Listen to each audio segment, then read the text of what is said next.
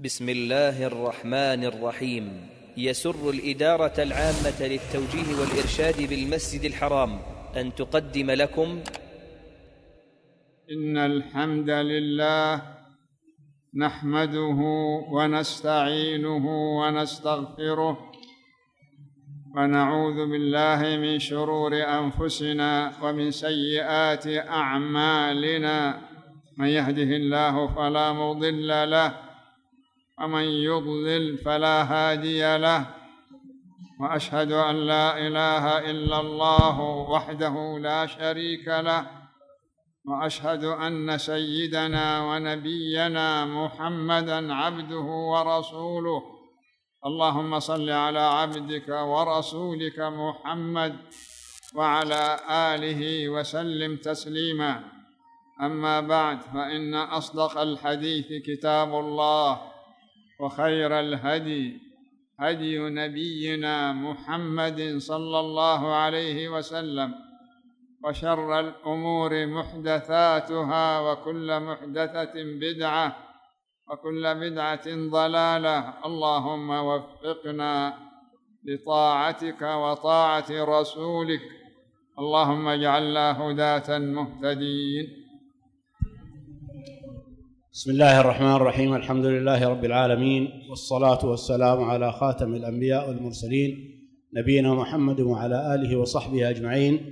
درس الليلة من كتاب شعاب الإيمان للإمام البيهقي.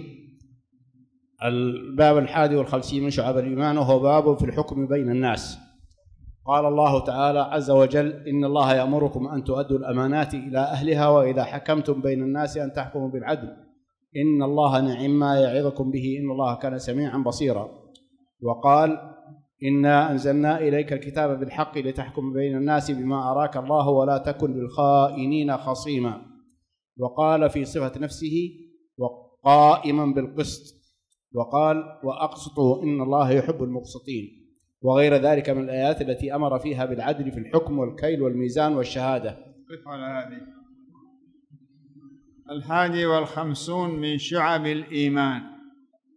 شعب أي طرائق الإيمان لأنه جاء في الحديث عنه صلى الله عليه وسلم الإيمان ثلاث وسبعون شعبة يعني طريق وخصلة. قرأنا فيما مضى بتوفيق الله خصال عديدة. هذا الباب أعده البيهقي الباب الخامس الحادي والخمسين من ثلاث وسبعين شعبة. وخص هذا الباب في الحكم بين الناس. الحكم يعني فصل الخصومات وإعطاء الحقوق ورفع الظلامات. فذكر هنا عادة المصنف أنه إذا افتتح بابا بدأها بما جاء في كتاب الله. ثم يثني على ذلك بما ثبت عن رسول الله صلى الله عليه وسلم من الأحاديث الصحيحة. ثم بعد ذلك يأتي بالأحاديث التي فيها مقال. ثم بعد ذلك يأتي بأقوال الصحابة والتابعين. اسمعوا ما يقول. ابتدأ هذا الباب بقوله سبحانه وتعالى إن الله يأمركم أن تؤدوا الأمانات إلى أهلها. إن الله يأمركم أي الله عز وجل أصدر أمرا.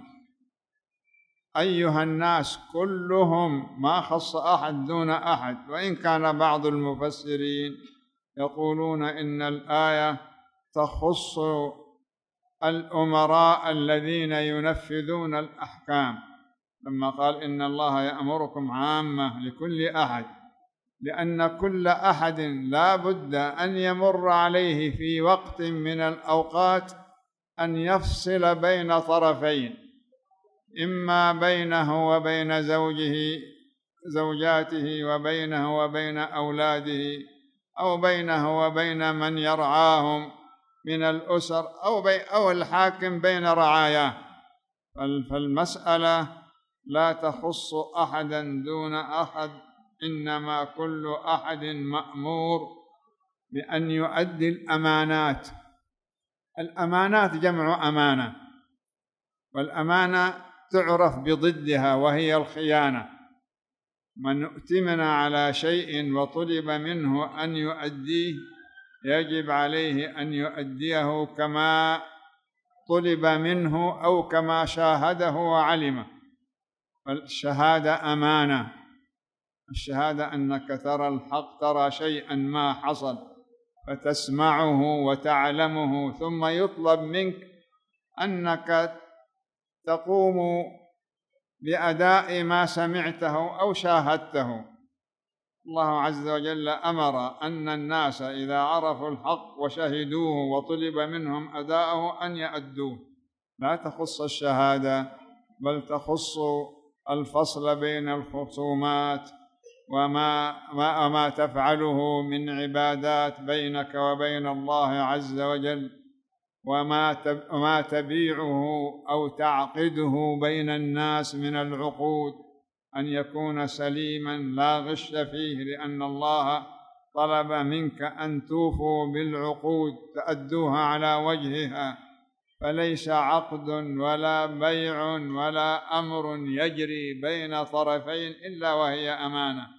الله عز وجل أمركم أن تؤدوا الأمانات في العبادات والمعاملات ومنها ما يخص الولاة أو من بيده بعض السلطه أن الله يأمركم أن تؤدوا الأمانة لا ترشح ولا تزكي ولا تنصب أحد في منصب إلا إذا علمت أنه يصلح لهذا لما فيه من خصال الأمانة والقوة حسب ما يستطيع الإنسان لأنه تأتي أيام. قد يبحث الحاكم عن رجل أمين ذو نفوذ فلا يجد إلا فاجر. ثم يختلف الناس في نسبة هذا الفجور منهم من فجوره على نفسه ومنهم من فجوره عام ثم لا يجد من يصلح إلا هذا الفاجر مع أمانة فيه لكنه في نفسه غير زكي فإذا وضعه فهذا هو المطلوب منه فإن الله عز وجل إنما أمر الناس بأن يؤدوا ما طلب منهم قدر المستطاع. فالامانات هذه الآية وإن نزلت بخصوص مفتاح الكعبة فإنه صلى الله عليه وسلم لما فتح مكة كان عثمان بن طلحة هو المسؤول لأن بنو بنو شيبة كانوا هم المسؤولون عن سدانة البيت. السادن وسدنة جمع ساد هم القوم الذين يقومون بإصلاح المسجد وتطهيره وتطييبه ويقال لمن قام بهذا في شأن الكعبة سادن الكعبة. أخذ المفتاح منهم أعطاها فأنزل الله عز وجل هذه الآية. فنادى عثمان تعال يا فلان. خذها خالدة يعني خذ مفتاح الكعبة. خالدة مخلدة لا ينزعها منكم أحد إلا ظالم. هذه الآية وإن نزلت بهذه الخصوص لكن لفظها عام في جميع الأمانات. ثم يقول سبحانه وإذا حكمتم بين الناس أن تحكموا بالعدل. إذا حكمتم بين الناس معطوفة على قوله إن الله يأمركم أي إن الله يأمركم بأداء الأمانات وإن الله يحكم يأمركم بالعدل إذا حكمتم بين الناس. ثم يقول سبحانه في مدح هذه الأوامر إن الله نعم ما يعظكم به. نعم يعني نعم ما. نعم الشيء الذي وعظكم الموعظه والوعظ عن الأمر بترغيب وترهيب. إنما أمركم الله بأمر فيه مصلحة لكم ومنفعة لأن الله لا يمدح شيئا باطلا. فدل على أن من أدى الامانه ما استطاع فإن الله عز وجل وصف هذا الفعل الذي يفعله العبد بأنه نعم ما شيء شيئا يفعله. والله إذا مدح أمرا دل على أن فيه من المصلحة والفائدة ما لا يستطيع تقديره أحد. إن الله يأمركم أن تؤدوا الأمانات إلى أهلها. أهلها يعني ما كان لله يجب فيه النصح. ويجب فيه المراقبة وإذا كان للخلق فما كان يخص فلان ارجع إليه أمانته سواء كانت شهادة أو حكم أو غير ذلك. الآية واضحة في الأمر بالعدل. العدل يعني الإنصاف. لا بد يا عبد الله أن من قام في إعطاء الحقوق أن يساوي بين الناس كل الناس لهم حق في شرب الماء فكل الناس لهم حق أن يستقوا من تلك العين. ما يخص أحدا من أحد لأن هذا من العدل. ومن العدل إذا وقف الخصمان أمام الحاكم ألا يسمع من أحدهما دون الآخر. إذا جاءك مظلوم بين نوع الظلم والظالم. لا ينبغي أن تتسارع في في في تنفيذ الحكم أو إصداره إلا بعد أن تسمع الطرف الآخر لأنه من العدل. وإذا دخل الخصمان على القاضي أو الحاكم لا ينبغي يا عبد الله أن يكون الحاكم يتبشبش تعرف معنى يتبشبش يعني يضحك ويسر ويوسع له في المجلس ويقربه دون الآخر لأن هذا فيه كسر قلب الآخر ولعله يعجز عن إبداء حقه لأنه رأى الحيف من أول الأمر. فالله أمر بالعدل بين الخصوم وبين الناس في الأعطيات إلا ما يتعلق بالأموال العامة في أموال خاصة وفي أموال عامة. الأموال الخاصة ما يكون من تجارات وبيع كل أحد له ماله كسبه الخاص. ومنها الميراث. ومنها ما ما يكسبه المرء من صيد البحر وصيد البر. وفي أموال عامة. هذه الأموال العامة كالغنائم والركاز. ركاز الكنز المدفون الذي لا يعلم صاحبه. وأموال أناس لا يعرفون فلا يعود المال إلى أحدهم. والتركات المجهولة أصحابها. واللقطات التي تؤخذ ولا يعرف صاحبها. فهذه المصادر يسموها أموال عامة ومنها الزكاة إذا فاض على المحتاجين وبقي مال هذه يسموها الأموال العامة. الحاكم وأعوانه يتصرفون فيها حسب ما أمر الله فالحاكم قد يتصرف في الأموال العامة تصرفا لا حسب شهوته لكنها المصلحة. له أن يقدم بعض الناس في العطايا ويؤخر آخرين والناس يتفاوتون في مقدار المنفعة للأمة. في أناس تفرغوا في القيام بمصالح الناس وإعانة الضعفاء وشق الطرق وبناء بناء مستشفيات ورد أهل الكفر وإعانة أهل الخير لهم جهد في هذا. فإذا رأى الإمام أن يعوضهم بأمر زائد على بقية الناس له أن يفعل. وإذا رأى بعض أهل الكفر له رغبة في الإسلام وأراد أن يتألفه له أن يعطيه. وإذا كان جنود على ثغرات البلد في نحر العدو العدو إذا ذكرناه يا عبد الله ونحن نتكلم باسم المسلمين يعني كافر. إما أنه يرى فكرا مخالف لفكر المسلمين أو أنه واضح أنه لا يدين بالإسلام. يقاتلهم الناس إما قتال دفع أو قتال دعوة. يموت من هؤلاء الناس هؤلاء الناس لهم أطفال.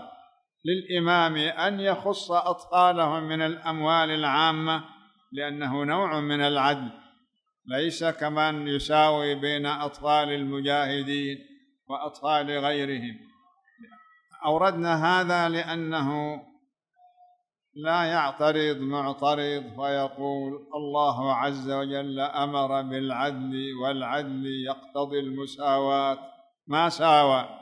ما علم أن أن استيفاء المصلحة وتخصيص أصحابها هو من العدل. ثم استدل المصنف رحمه الله بالآية التي تليها فقال اقرأ. إنا, إنا أنزلنا إليك الكتاب بالحق لتحكم بين الناس بما أراك الله ولا تت ولا تكن للخائنين خصيما. هذه الآية نزلت بخصوص بني أبيرق. كان فيهم لصوص ومنافقين. جاء رجل من بعض قبائل الأنصار بحمل بعير من ردمك يعني من من دقيق حر ووضعه في مشرب يعني في غرفة خاصة.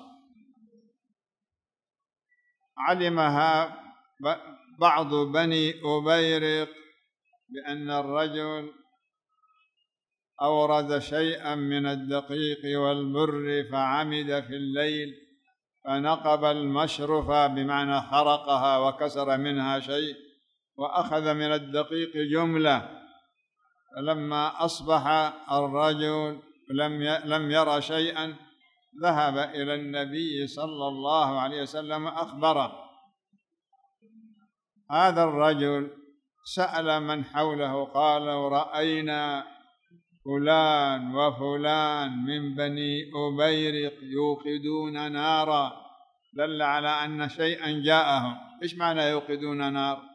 واضحة إيقاد النار مو لأجل الدفء ولا لأجل بيان موقع الموقع للضعفاء ليأتون لأن أغلب من العرب من كرمهم أنهم يعمدون. إلى نار فيوقدونها لأن يمر مار السبيل وغيره فيأتي إليهم.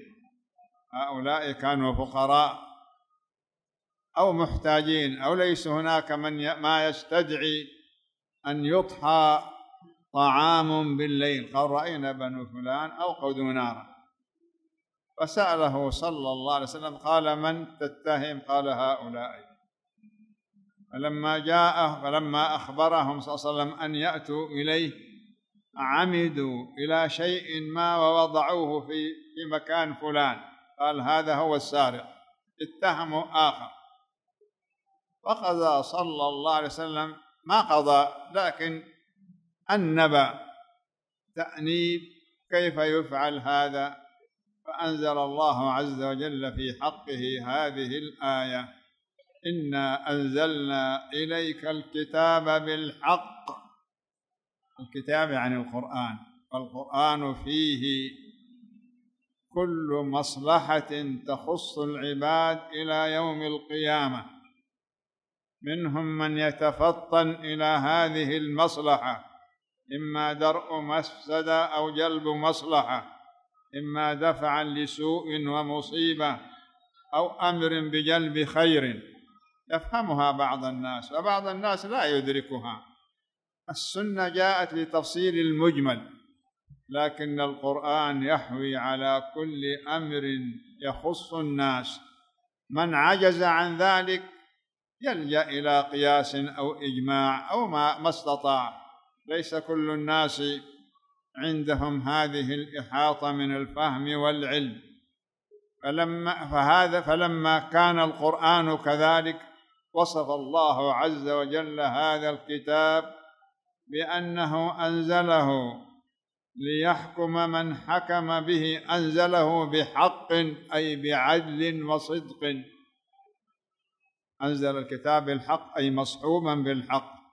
الحق نقيض الباطل والحق يشمل العدل. العدل في الأموال والأقوال وفي جميع التصرفات. هذا الحق فيه إنصاف الناس وفيه تمحيص الباطل وإذهابه ودرء المفاسد فالقرآن اشتمل على ذلك. فيصف الله عز وجل كتابه بهذا الوصف العظيم ثم يقول أنزلناه مصحوبا بهذه المزايا لأجل أن تحكم بين الناس مو تحكم بين المؤمنين فقط بل كل من رفع الأمر إليه صلى الله عليه وسلم وهو مطلوب من مطلوب مطلوب منه أن يقضي بينهم بالقسط والعدل. إنا أنزلنا إليك الكتاب بالحق لتحكم بين الناس بما أراك الله. لا باجتهادك أيها الحاكم. الرسول صلى الله عليه وسلم معصوم. إذا نطق إنما ينطق عن وحي فإذا حكم إنما يحكم عن وحي. والناس الآخرون مطلوب منهم أن يحكموا بما جاء في الكتاب لا يخرجون عنه. لا يقول المصلحة تقتضي وهذا أمر قديم كما نسمعه. وال وال والذي ينصف الناس هو هذا هذا خلاف الشرع.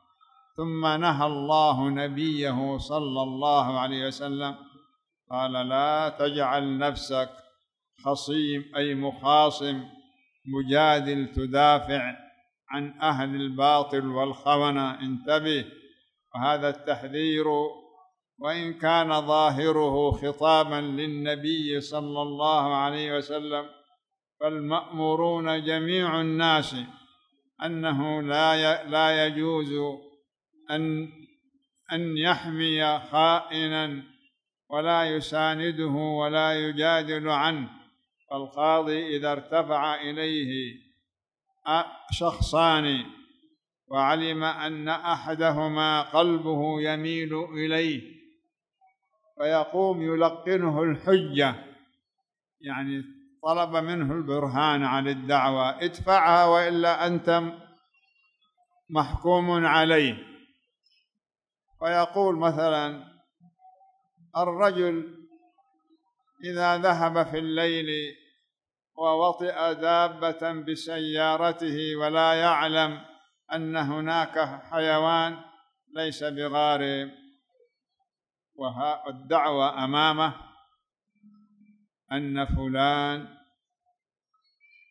جاء أثناء الليل فكسر منزلا أو بابا أو ما إلى ذلك. يقوم القاضي يأتي بهذه القصة يعني يا فلان قل إنما أنا فعلته لينا ولم أجد مخرج لأنه يعجز عن إبانة حجته. هذا مثال وإلا, وإلا التلقين والتلميح وهذه وسائل كثيرة فلا ينبغي للقاضي ذلك. وكذا غير القاضي لا ينبغي أن يلقن الطرف الآخر حجته للدفع هذا هذا خيانة. وكذلك أمر المحامين. المحامي بمعناه الوكيل الذي يقوم نيابة عن الطرف الآخر في المجادلة عنه والدفاع عنه لأنه يقوم مقام إنسان غائب. كذا المحامي. لا كشأن الناس. أنهم يقومون بمن يدفع أكثر. فإذا حصل على الأموال التي ترضيه قام حينئذ يدافع لأن الذي يقوم بالأمر يستفصل القضية من أولها إلى آخرها ويسأل هذا الموكل ما هي الدعوة وكيف تمت وكيف حصلت ثم يدفع نفسه أو آخرين. ليعرف الطرف الآخر ما هي قضيته حتى يتبين. فإذا علم أن الحجة مع مع هذا الذي وكله وأنه مظلوم أو صاحب حق يتولى الأمر. وإذا علم أنه ظالم ويعلم أن القضية فيها ملايين وآلاف يقوم يساوم. كم لي إن نجحت وكم لي إن أقمت الحجة لك. هذا شأن كثيرين والعياذ بالله. أو لا يبالي ظالم أو مظلوم. المهم أن يتولى القضية. كذا القضاة والمحامين والوكلاء. والوكلاء أنواع. قد يكون محام في قضية وقد لا يكون محام. إنما أراد القيام نيابة عن, عن موكله. فلان وكله في تزويج بناته. فلان وكل آخر في في بيع ممتلكاته. فيقوم لأجل أن يبيعها فيخون إما موكله أو يخون الطرف الآخر الذي يبيعه. الله عز وجل يقول ولا تكن للخائنين خصيما واستغفر الله إن الله كان غفورا رحيما. الرسول صلى الله عليه وسلم مال قلبه لأنه لا يعلم إلا ظاهر الأمر. ثم نبهه الله عز وجل فرجع. الرسل صلوات الله عليهم وسلامه. إذا قال ربنا واستغفر الله معناته فعل شيئا مما لا يرضاه الله. فهذا الذي لا يرضاه الله لا يكون عن تعمد كما قتل موسى القبطي وما كما وكما تنبه داود حين دخل عليه الخصمان فعرف موضوعهما وأنه المقصود فخر راكعا وأناب إلى الله عز وجل. وذاك يونس ظن أن لن نقدر عليه. فنادى في الظلمات أن لا إله إلا أنت. هؤلاء الأنبياء إذا ذكر الله عليهم ذكر الله لهم ما حصل منهم فإنهم فإن الله عز وجل يلهمهم الرجوع. فإذا رجعوا إلى الحق كانت درجته أعلى من قبل أن يصاب بما أصيب ولذا من فعل خطيئة ثم رجع عنها وأتاب قد تكون منزلته عند الله أعلى درجة من ذاك الذي لم يفعل شيئا من هذه. فالله عز وجل, عز وجل يقول واستغفر الله إن الله كان غفورا رحيما ولا تجادل عن الذين يختانون أنفسهم إن الله لا يحب من كان خوانا أثيما إذا قرأت الآيات تبين لك, لك المعنى. فجعل البيهقي تحت عنوان الحكم بين الناس. استدل بهذه الآية أن الله عز وجل أنزل الكتاب ليحكم بالعدل بين الناس. فلا ينبغي لإنسان حكم بين اثنين. حتى ولو جاءك اثنان قال أينا أجود قراءة؟ لا بد أن تكون عدلا في الحكم. تبين الجيد مو لأجل فلان من ابن فلان العظيم فلا يصح. كما نشاهد أحوال الناس الآن والعياذ بالله. فهذا يسمى حاكم. كذا الخطوط تسابقوا أيهما أجمل خطا. فلا ينبغي لمن طلب منه بيان الخط الأحسن والأجود أن يميل إلى فلان فيقول هذا ويعلم أن الحق خلافه فهذا حكم بغير العدل ثم استدل المصنف رحمه الله بالآية الأخرى اسمعوا ما يقول القارئ. نعم.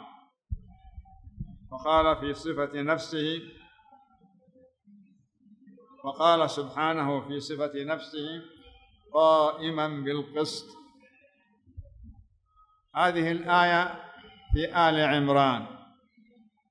أولها قوله سبحانه شهد الله أنه لا إله إلا هو وأولو العلم والملائكة قائما بالقسط لا إله إلا هو العزيز الحكيم. شهد الله. الشهادة يا عبد الله.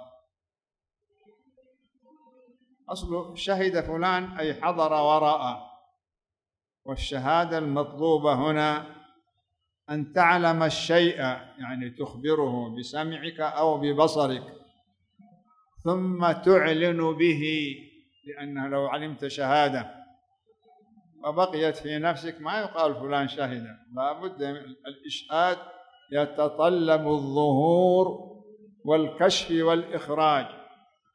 فإذا شهدت فمن قال أشهد أن لا إله إلا الله علم أنه الإله الواحد المطلوب من العباد أن يخافوه وحده ويرجوه وحده ويطيعوه وحده. فلما قال أشهد أن لا إله إلا الله أي إني أقر وأعلن وأعترف أشهد أن محمد رسول الله يقتضي أنك لا بد أن تتابعه لأن شهادتك إقرارك واعترافك وإعلانك أمام الناس. هذا في حق المخلوقين. فإذا قال الله شهد الله كيف تكون الشهادة من الله؟ اسمعوها يا عبد الله. الشهادة كما أخبرناكم إظهار الأمر وإعلانه لأن كتمانه أو السكوت عنه أو لم يطلب منك ما تسمى شهادة حتى تظهرها. شهد الله أنه لا إله إلا هو والملائكة والملائكة والملائكة قائما بالقسط.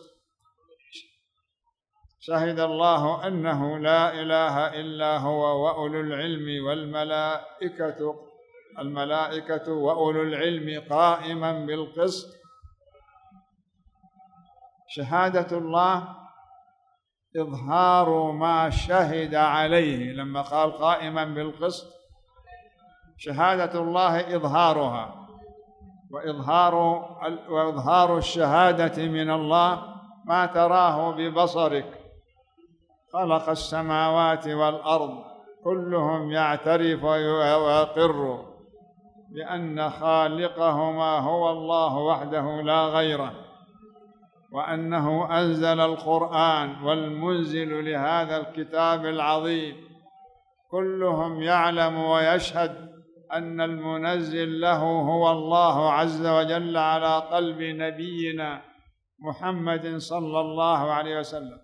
فما أظهره في الدنيا من نصر المؤمنين وتعزيز النبي ومن معه وذل أهل الكفر وعقوبة من خالفهم. يعلم أن الله عدل هو الذي يا عبد الله ليس هذا موضوع سواك. لا ما ينبغي لأن هذا فيه استهانة. هو ينتظر مني أن أقول له كذلك لأنه هو جالس يتحمص يا عبد الله هذا حديث رسول الله وكتاب الله. نقول هذا لأجل أن يعلموا. هذا ما يعرف السواك. لأن بعضهم يلبس لباس غير أهل البلد. ما عندهم سواك ما يعرفون السواك. لأنه جاء هنا قيل له فلان. وقلبه مملوء بما فيه مملوء. اتق الله يا عبد الله. يقول الله عز وجل شهد الله أنه لا إله إلا هو والملائكة وأولو العلم قائما بالقسط. إذا شهدت أن الله عز وجل عدل في أحكامه. أذل أهل الكفر والنفاق ورفع أحوال المؤمنين المتابعين للرسول. هذه هي شهادة. وما رأيته من آثار كيد الظالمين وآثار الصالحين. علمت أن الله هو الحق قائما بالقسط. فمعنى شهادة الله إعلان ما فعله. وما أمر به وما نهى عنه كيف عاقبة هؤلاء؟ هذه شهادة الله. شهد الله بذلك وشهد الملائكة بذلك وشهد أولو العلم الذين عرفوا مقدار الله وقدرته وما يفعله شهدوا بذلك. الله عز وجل أقر هذا الشهادة وبينها قائما بالقسط قائما إما أنها تكون مفعول شهد أو أنها حال أي حالة كونه أو تمييز أو حال أن حاله أمره قائما بالقسط القيام يعني مداولة الأمر ومزاولته واستمرار عليه. تقول قامت السوق أي تحركت ونشطت. قام فلان بالأمر أي أنه تولى جهده بذلك. فإذا قلت قام الله بالقسط أي أنه سمح سبحانه وتعالى فعل ذلك واستمر عليه ودام الأمر. وكل الناس من أولي العلم والملائكة وهو سبحانه شهد على نفسه قيامه بالقسط. القسط هو العدل لكن لابد أن تعرف فيه فرق لأن أهل العربية اختلفوا. هل هناك مرادفات؟ يعني كلمة. تكون مثل الكلمة في دلالتها تماما أو لا يكون مرادف. لا بد من فرق يتفطن إليه من تفطن. كتاب الله عز وجل ما فيه شيء يرادف الآخر. فإذا قال سبحانه ثم توليتم مدبرين الإدبار هو التولي لكن في فرق بين التولي والإدبار. فإذا قال قائما بالقسط القسط معناه العدل في الجملة لكن بينهم فرق بينهما فرق. العدل يكون في الأمر الخفي والأمر الظاهر والعدل يكون في الإنصاف بين الناس. قد يلقى الظالم جرم ظلمه ويلقى العادل جزاء فعله الحسن وهو عدل بين الناس. القسط يستعمل في الأمر الظاهر ولذا الميزان والمكيال والأمور التي تجري بين الناس. يقول فعل فلان قام بالقسط وفعل قسطا بين هؤلاء. والقسط إذا جاء في كتاب الله اسمع قوله سبحانه.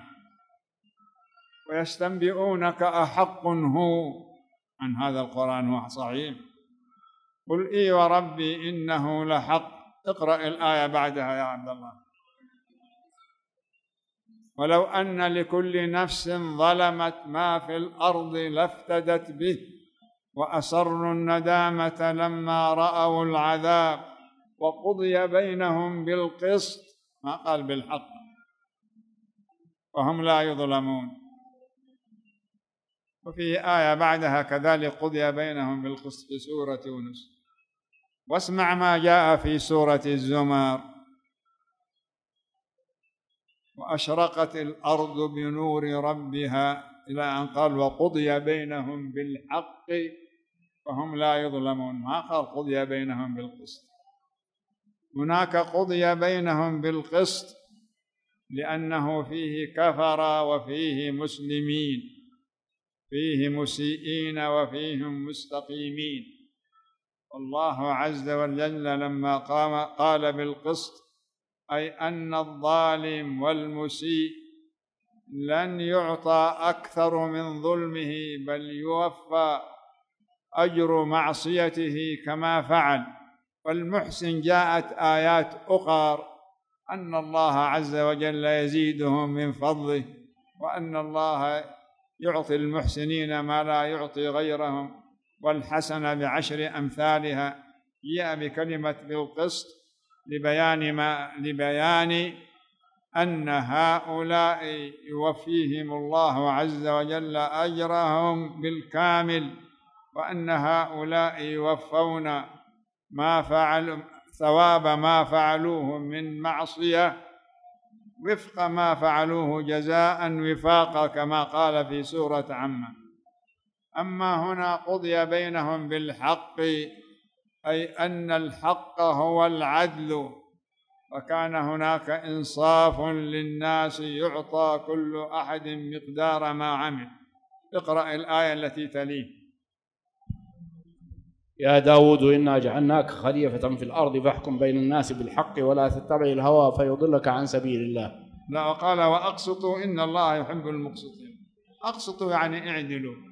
والعدل هنا إذا كان كالميزان والمكيال يراه الناس يكون في دقة الأمر وموضوعه. ثم يقول سبحانه إلى غير ذلك من الآيات التي أمر فيها بالعدل في الحكم والكيل والميزان. الكيل والميزان يعني البيع عموما. إنما نبه عن الكيل والميزان هو الذي يجري تجري فيه الخيانات الخفية. وإلا كل العقود لا بد أن يكون الإنسان أمين عادل فيما يقول وفيما يعطي وفيما يمنع وفيما يأخذ. ثم يقول كذلك والميزان والشهادة. قال اقرأ فوصف جل ثناؤه. قال فوصف جل ثناؤه. خليك مكانك فوصف جل ثناؤه نفسه بالقسط وهو العدل. قلنا في تفاوت بين العدل والقسط. وأمر عباده به. الله عز وجل أمر عباده بالقسط والعدل. فيقرأ فعل فعل. وأمر عباده به به ووصاهم فيما يتعاملون به بملازمته والانتهاء إلى ما يوجبه آلة العدل الموضوعة بينهم من الكيل والميزان. فثبت بهذا كله أن العدل بين الناس في الأحكام وعامة المعاملات من فرائض الدين. كيف علمنا أنه من فرائض الدين؟ لأن الله عز وجل ذكر في عدة آيات أمره بذلك. وبين أن خلاف ذلك خيانة. فدل على أنها من فرائض الدين. نكتفي بهذا القدر في هذه الليلة المباركة. وصلى الله على نبينا محمد وعلى آله وسلم تسليما. نعم. اقرأ يا عم يقول السائل رجل لعن نفسه مليون لعنة. ما قال كذا وكذا وقد قال كذا وكذا أمام شخص. فهل يجوز لمن علم أنه قال كذا وكذا يقول له أنت ملعون؟ لا ما يقول. ما يقول. ما يجوز له ذلك. لأن هذا ما تدري. قد يستغفر الله ويتوب ويندم. اللعنة لا ينبغي لك. حتى لو رأيت أنه كان. حتى الكافر لا يقال له إلا إذا علمت أنه مات على كفره. نعم. لكن لك أن تلعن في الجملة. قل لعنة الله على الظالمين وعلى القتلة وعلى السراق لكن لا تأتي لإنسان معين وتلعنه. نعم. يقول أنا أملك قطعة أرض ونويت أن أبني وأسكن علما بأن لدي بيت وأنا ساكن فيه علما أن الأرض إذا بعتها فيها خمسة أضعاف المكسب هل هل عليها زكاة أم لا؟ نعم إذا لأنك وضعت مال. هذا المال لابد من زكاة فوضعته في أرض لأجل أن تبني فيه. ومعك بناءك. معنى ذلك أحد أمرين إما أن تكون معدا لبيع ما تسكنه أو أن هذا سيأتي من يغريك فتبيعه. هذا مال معطل لا بد من أداء زكاته. وزكاته يا عبد الله ما هو بيوم شرائك له؟ إنما هو بقدر بالقيمة التي تباع في السوق ذاك الوقت. إن شريتها قبل عشر سنوات تزكها فإذا علمت آخر السنة أنه بلغ ثمنه كذا أدي زكاته وإلا عطلت المال. نعم. رجل قال طلاق طلاق ولم ولكنه لم لن لم ينوي الطلاق ولم يقل هذا أمام زوجته. ثم ندم. هل يقع الطلاق أم لا؟ رجل قال طلاق طلاق ولكنه لم ينوي الطلاق ولم يقل هذا أمام زوجته. طلاق طلاق ليست لفظ الطلاق. طلاق أن يقول أنت طالق أو مطلقه أو طلقتك. طلاق طلاق ما لا معنى له. نعم. من قال حسبي الله ونعم الوكيل هل يعتبر أني دعوت عليه أو عفوت عنه؟ حسبنا الله ونعم الوكيل. أصلها تقال توجع لشيء ينزل أو خوفا من مكروه سيصيبه فتقول الله حسيبي بمعنى أنه يكفيك ما أهمك ويدفع عنك عنك شرا تتوقعه. تقول حسبنا الله يعني الله كافينا. هذه تقال في الأمور والشدائد الإنسان يتعذر عليها دفعها أو القيام بأمر يناقضها. نعم. يقول وجدت الإمام في في الجلوس الأخير. هل ممكن أن أسلم وأصلي مع جماعة جديدة؟ لا. إذا دخلت معه لك أجر الجماعة إن لم تكن لك عادة لكن لا يجوز الخروج من الفريضة. لا ينبغي هذا. نعم. يقول هلك هالك عن أب وأم وإخوة وولد. كيف تقسم التركة هلك هالك يعني مات ميت عن من؟ أب وأم وإخوة وولد. الإخوة محجوبون بالأب ما لهم شأن والولد هنا يأخذ الولد وأب. الأب والأم يشتركان الأم لها السدس والأب له بقية المال إن لم يكن ولد فلما كان ولد موجود. هما يشتركان في الثلث سدس وسدس الباقي للولد يأخذه والعلم عند الله.